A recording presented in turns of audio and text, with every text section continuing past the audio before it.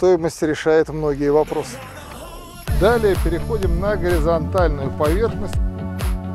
Вторая верхняя часть, она монтируется на пирог. Утеплитель просто кладем на пароизоляцию.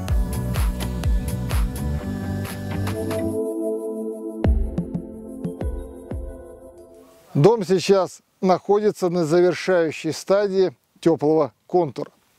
И в этом обзоре будет интересное интервью с руководителем компании по плоским кровлям, где мы будем обсуждать, почему мы принимали те или иные решения. И также подробно все этапы монтажа. Все материалы переехали на плоскую кровлю, при этом освободив практически весь участок. 10 дней прошло, как мы залили перекрытие. Начинаем снимать и разбирать опалубку.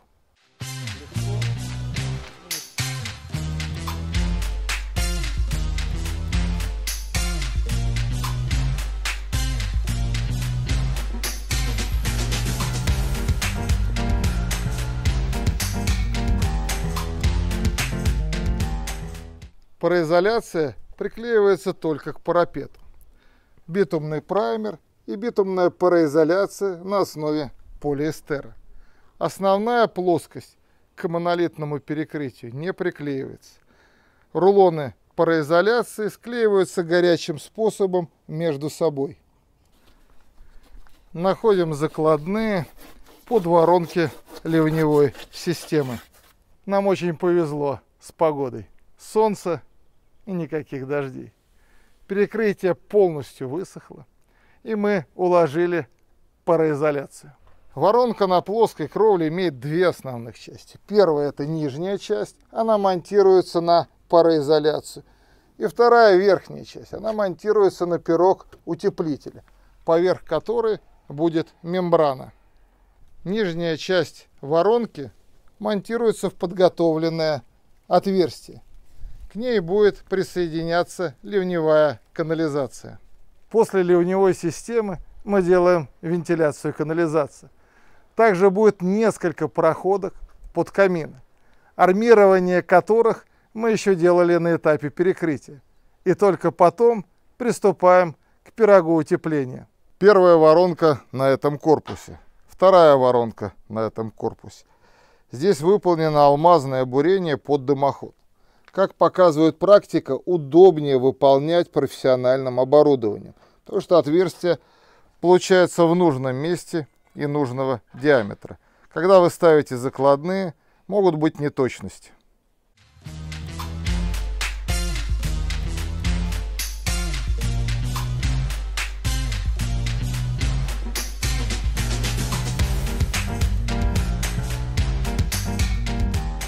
Первым выполняется утепление парапета. Далее переходим на горизонтальную поверхность утепления 200 мм. И уже потом сверху раскладываются клиновидные элементы, которые создают уклон к воронкам. Здесь мы ранее делали алмазное бурение под дымоход. Уже проходной элемент полностью готов. Сделали всю необходимую подготовку. Утеплитель, геотекстиль, мембрану. Закрепили края. Приступаем к сварке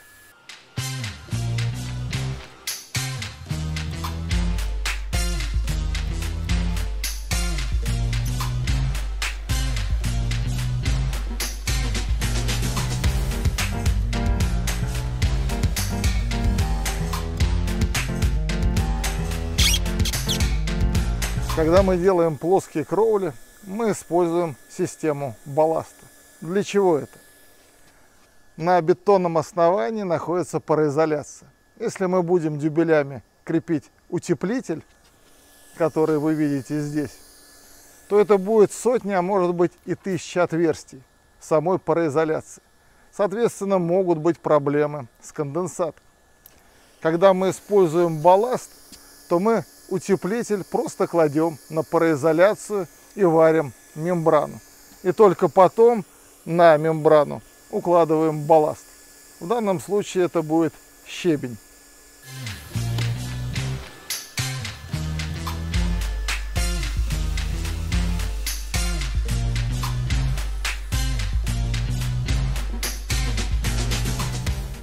Воронка плоской кровли уже в готовом исполнении. Пятачки, которые вы здесь видите, это усиление слабых мест. Их ставят, как правило, на пересечении нескольких элементов. Подготовка под дымоход камина. Ранее в видео мы вам уже показывали это место. Когда будет происходить установка оборудования, мембрана будет вырезаться в этом месте, ставятся проходные элементы, а сверху будет металлический колпак. Выполнена полностью кровля. Осталось положить сверху балласт. Приступили к подготовке подоконные системы и раздвижные двери. По всей поверхности плоской кровли расстелен геотекстиль. Далее краном поднимаем щебень и рассыпаем тонким слоем порядка 5 сантиметров по всей поверхности кровли. Таким образом, утеплитель, который никак не закреплен к бетонному основанию, держится за счет верхнего слоя щебня.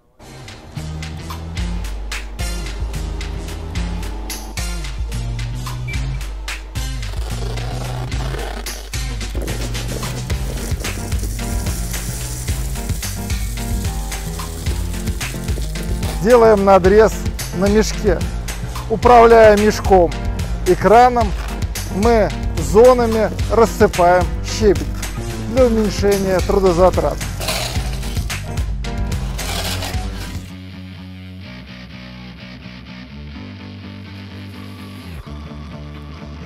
Мы выполнили все этапы работ по устройству плоской кровли с балластом, последним из которых была укладка щебня. Теперь переходим к обещанному интервью с Александром. Я Сергей, компания Lofthouse. Мы выполнили проектные работы и строим этот дом. Александр выполнял кровельные работы. Добрый день, меня зовут Александр. Я занимаюсь устройством надежных плоских крыш на загородных домах и коттеджах. Э, на данном объекте мы выполняли плоскую кровлю по балластной системе. На этом проекте в устройстве плоской кровли использовалось монолитное перекрытие, утеплители ППС и мембрана с балластом. Балластная система на данный момент это а, основной вид кровли, который мы предлагаем для загородных домов. А, у балластной кровли есть э, ряд значительных преимуществ э, и практически нет недостатков. Александр, в устройстве этой кровли мы приняли с вами решение сделать э, мембрану с балластом. Какие основные за и против в этой технологии? А, Но ну, если говорить про мембрану ПВХ, то это более современный материал, например, если сравнивать с той же самой его наплавляемой гидроизоляцией. А, балласт мы применили, потому что есть некоторые преимущества, да, например, балласт защищает гидроизоляцию от э, прямых солнечных лучей, а, что у мембраны ПВХ, что у наплавляемой кровли основной разрушающий фактор это как раз ультрафиолет. Соответственно, засыпая кровлю балластом, мы увеличим ее долговечность по сути. А, второй момент, значит, мы уходим от механического крепления. Для того, чтобы э, закрепить ПВХ-мембрану, некоторые используют крепеж, механический крепеж крепит в основании, но я лично считаю, что механический крепеж э, по бетонному основанию не очень хорошее решение, э, так как при, э, ну, для того, чтобы закрепить механически, нужно сначала перфоратором пробурить отверстие и в теплоизоляции, и в пароизоляции. А потом туда вставляется сформат, саморез, и диаметр самореза всегда меньше, чем диаметр того отверстия, которое, получается, пробурили перфоратором. То есть, по сути, э, в решении с механическим креплением по бетонному основанию э, у нас бы получилось вместо пароизоляции попросту решето. Мы применяем механический крепеж, но достаточно редко, чаще это по деревянному основанию, где не нужно как раз перфоратором делать отверстие. Ну и э, еще один положительный момент балласта заключается в том, что многие боятся, что там прилетят какие-то бакланы, могут проклевать мембрану, какой-то фейерверк там с соседа залетит зимой и так далее. Вот как раз балласт, он защищает э, кровлю от каких-то механических таких э, повреждений или воздействий извне. Подводя итоги устройства этой кровли, мы имеем защищенную поверхность э, кровли с балластом.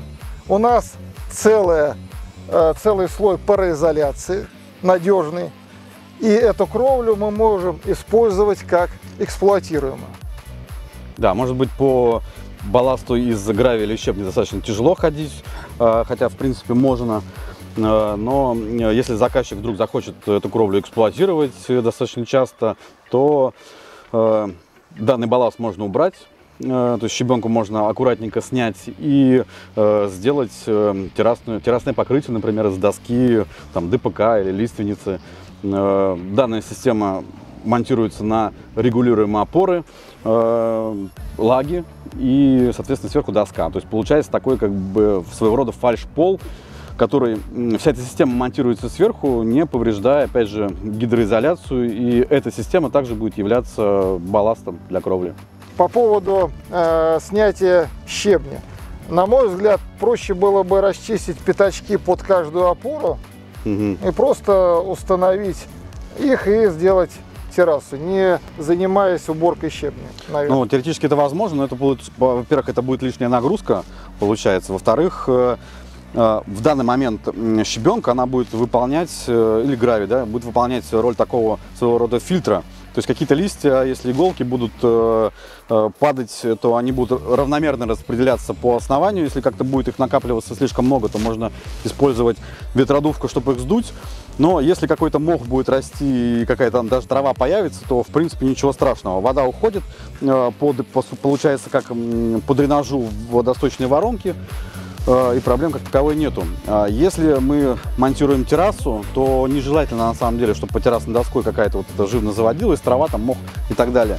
Мы, когда делаем террасу, как в виде фальш-пола, в местах э, воронок монтируем ревизионный лючок, для того, чтобы можно было его открыть в любой момент и почистить вот этот лиственник, э, в который в любом случае будет по поверхности, ну, между доской всегда будет попадать какие-то иголки листья, какой-то мусор там и так далее. Дальше водичка дождевой будет смывать в, в нижнюю точку к воронке, к лиственнику, э, и открывая лючок мы можем почистить. Если щебенку не убирать, то, соответственно, почистить такую кровлю не представляется возможным. Э, я уже не говорю о том, что какие-то остатки еды, например, если попадут между досками, они не смогут пройти до момента, где их можно убрать, и То будут мусор будет накапливаться да. и, возможно, какие-то последствия. Ну, это не очень хорошо. Александр рекомендует щебень убрать. Но это уже на ваше усмотрение. Все равно есть два варианта. У каждого есть свои последствия. Ну, на самом деле, если раз в год там подняться или два раза в год подняться на такую крышу и хочется поэксплуатировать ее, то, в принципе, по, по такому основанию можно ходить. То есть по, поскольку под э, щебнем находится достаточно плотный геотекстиль, то э, вот эти камни, они не повреждают гидроизоляцию. Можно даже поставить какой-нибудь тут, я не знаю, шезлонг, позагорать э, и, в общем, провести какое-то время, но, в общем, без, ну, немного, не часто. Да. Также на эту кровлю можно сделать газон. Есть технологии, которые позволяют сделать здесь травку. Если вы хотите чувствовать в каждом части вашего участка себя э, в зелени и с этим, то э, стелите здесь газон, поднимаетесь, загораете и будете получать удовольствие. Ну, по поводу газона, на самом деле, есть э, два вида газона, тоже немножко расскажу. Э, есть газон как кровля экстенсивная зеленая и интенсивная. Э, экстенсивная это то, та кровля, которую не нужно, за которой не нужно ухаживать, которая сама по себе живет, э, которую там не нужно поливать, допустим, не нужно траву косить там и так далее. То есть, если посадить обычный газон, обычную траву, то в любом случае она будет расти, и для того, чтобы комфортно по ней ходить, нужно ее, э, ну, как минимум, косить. Плюс, если какие-то там жаркое лето, как вот это лето выдалось, там несколько недель вообще дождя не было, такую кровлю нужно поливать. Это немножко неудобно, доставляет какие-то определенные хлопоты, да, то есть косить э, траву, ну, какую-то газонокосилку поднимать или что-то такое, это не, не очень э, как бы хорошо. Есть э, такие кровли, как экстенсивные. Это немножко другой газон, как это, очетковые. Такая трава, как такие небольшие, может быть, кустарники, которые растут у нас либо вообще на каких-то горах и скалах, которые легко приживаются, за которыми не нужно ухаживать, э, там в тундре, например, где-то такие, так, как это, почвопокровные, или как они там точно называются. Э, тот газон, который, за которым не нужно ухаживать. Ну вот, поэтому для зеленых кровель мы больше его рекомендуем. На ваш выбор уже, что делать на этой кровле, но вы э, с учетом своей фантазии и технологии можете сделать разные, применить решения и использовать их. В устройстве этой кровли был использован экструдированный пенополистирол. Э, Александр, почему принято именно это решение? А, ну, в плоских крышах применяются в основном три вида утеплителя. А, самый простой, наверное, это минеральная вата. Этот материал больше используется для промышленных объектов, так как пожарные наши не пропускают экструдированный пенополистирол для использования на, вот, на промке. Но в коттеджном строительстве, когда заказчики строят сами для себя, такой проблемы нету, поэтому мы можем использовать экструдированный пенополистирол Э, этот материал э, может быть более горючий, э, но с учетом того, что у нас снизу идет бетонное основание, сверху мы засыпаны балластом, то как бы даже прямого доступа огня к этому материалу нету. По своим свойствам экструдированный пенополистирол, конечно, лучше, чем минеральная вата. Он не, не, не боится воды, он не впитывает ее, его можно хоть под дождем оставить, ничего не произойдет, в отличие от минеральной ваты. Да, если какая-то немножко она влаги в себя вберет, она ее все равно напитает, как бы кто ни говорил, э, то она, соответственно, теряет свои свойства.